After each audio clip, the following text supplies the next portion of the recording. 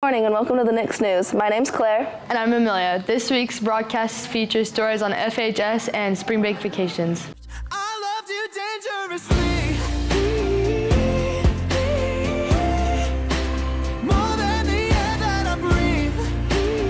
brings us a story on unique aspects of Farmington.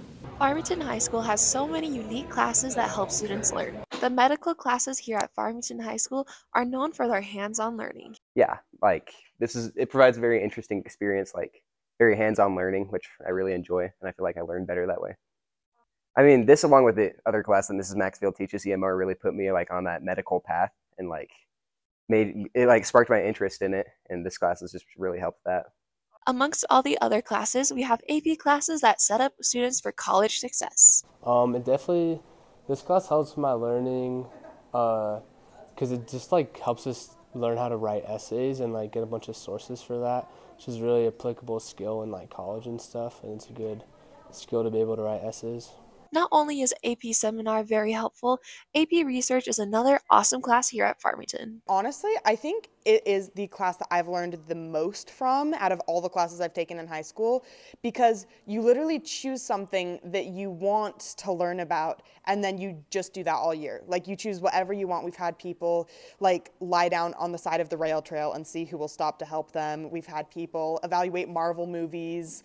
We've had people try and I don't know, but 12 cuttlefish died this year, so something with cuttlefish. But like, it's literally like the most interesting things ever, and you learn everything there is to know about whatever you're learning about. Like, it's the best. Having a class that runs a snack bar provides a unique learning opportunity. It kind of teaches me life skills, like how to talk to people, how to sell something if I need to sell something and stuff like that. Yeah, it's honestly such a good opportunity. Um, this class has been a lot of help for me in many different ways in my life. Not only can students learn how to work with people, they can also learn how to work with animals. Uh, this class impacts my life because I've always wanted to be a marine biologist and it's given me opportunities to go on uh, conservation trips like Belize and it expands my knowledge for when I am going to go to college for marine biology. I enjoy the opportunity. I've gotten to see like uh, like eagles and owls and like hawks in person.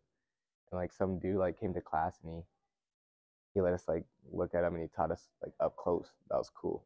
Not only does working with animals as a class provide a cool and unique opportunity, it can also help provide career opportunities. Biotech, like all of its hands-on labs, um, so it's like it's the way that I learn the best is like by actually like physically doing stuff. So um, biotech has opened like more medical doors to me, and I like.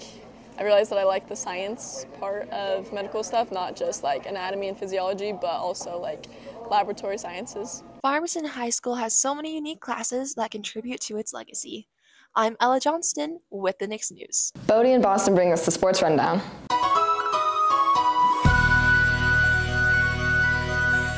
On Tuesday, boys baseball, boys tennis, softball, boys volleyball, and boys lacrosse, girls lacrosse are all at Fremont. On Wednesday, boys tennis plays at Woods Cross. Boys baseball, boys soccer, and track and field are all at Fremont. On Thursday, girls golf is at Davis Park. Boys tennis, softball, boys volleyball, boys lacrosse, girls lacrosse are all at Weber. On Friday, baseball plays versus Fremont. Boys soccer is at Weber. And girls lacrosse is at Waterford. The Content Assessment Lab will be open Monday through Thursday, 2.30 to 4.30 in room 1410. Make sure to bring a teacher referral. Ainsley brings us the question of the week. The question of the week is, do you know what March Madness is and who do you have winning? Do you know what March Madness is? Yes. Yes. Yes, I do. Uh, yeah. Do you know what March Madness is? I have no idea. You're just like me. who do you have winning? Um, UConn. Nobody. I don't care that much about March Madness. Go Purdue. Go Purdue. Houston. Iowa State. Utah State. Go Aggies. No one. Sports are just as confusing as politics for me. Amen. If you have any story ideas, make sure to email us two weeks in advance and check out our socials. We'll see you next week.